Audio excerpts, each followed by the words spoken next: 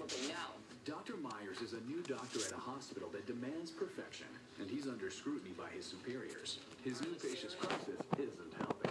Having a relatively healthy patient come in, arrest in front of me, gave me the most horrible, sinking feeling I've ever had. Still no response. Miss Larson, can you hear us? Let's give uh, milligram of atropine, please. Still Brady on the monitor, 40. We're gonna get ready to intubate her. I'm gonna need to etomidate and stuff. I'd like the video scope, please. Video scopes in the ICU. We did everything in the book that we knew how to do.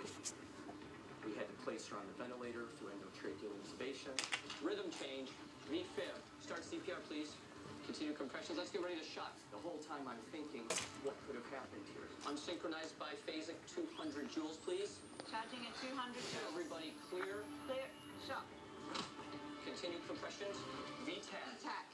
There was no indication that this woman was any sicker than when she had walked in the door, and yet she was dying right in front of us. Lidocaine, 75 milligrams, a milligram of epinephrine, please. All these thoughts went through my head about how this is not a good outcome, it's going to reflect very badly on me. Defibrillate again at 200 joules. Clear. And shocking. We're going to give uh, amiodarone, Amiodarone. 300 milligrams. Amiodarone given. Shock when you're ready, 200 joules. Clear. Shocking.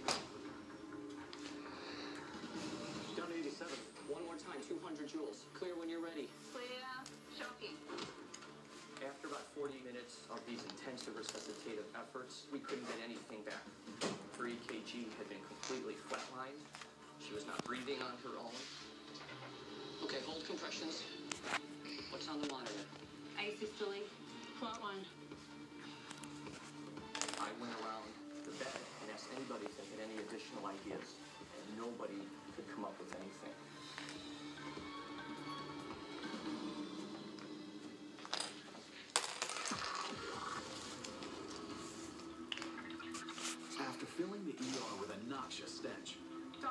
Dr. Bose's cowl-down-covered patient has stopped breathing. Let's back up. So my patient's not breathing, and I'm wondering if he's aspirated cow feces into his airway or if he has internal injuries. He may die quickly if he's not breathing.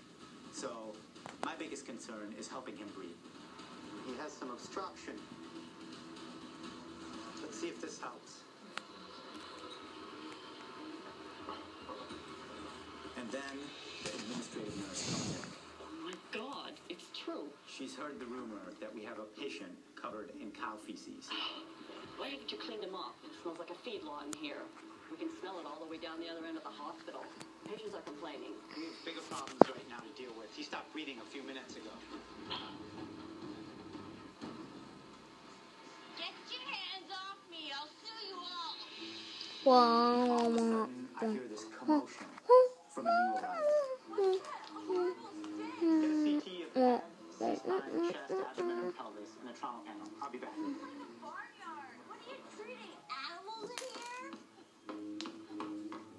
Get your hands off of me. Calling security. Ma'am, will you please come into the bay? Oh look, you guys got private booths.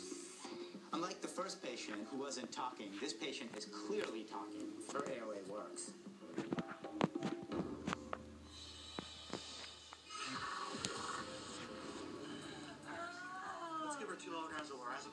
Dr. Simmett's patient has been crying for two weeks.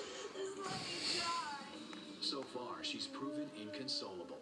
He's placed her in the psych ward for observation. The psychiatric rooms are separate from the other rooms because a lot of times people do yell and you want to observe them, but you don't want them in the middle of everything else going on. You want to give them a calmer environment, a more comfortable environment. Hi, Kelly. How are you doing? Terrible. Why did they move me here? It's quieter. We gave you some medicine to help calm you down. What about my heart? What about medication for my heart? Tell me why you're so sad. I wanted to find out what could be so bad. What could have caused so much distress? And at first, she's just saying, I can't get comfortable. Life is never going to be the same.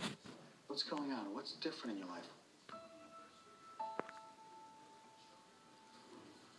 He died.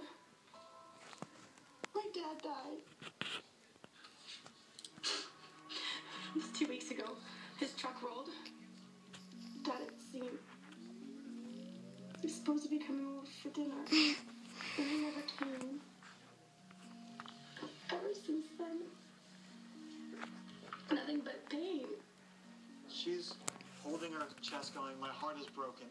I need it to go away. I wish that the pain of a broken heart was something we can fix in the emergency room, but it isn't. While I was holding her hand, I was taking her pulse. And I feel an extra couple beats, and then a few skip beats, and things just aren't fluid. They're not consistent. She's not in a regular rhythm. Did we get an EKG on her and her labs come back? Just came in. Thank you. I'll talk with you again later. Her blood tests were normal. Her pulse was good except for a couple of extra beats. And there were no other cardiac symptoms. It had to be psychiatric. And I get the EKG. And I said, this can't be my patient's EKG. My patient looks good. This EKG doesn't. It can't be my patient. Are you kidding me? Lidocaine, please.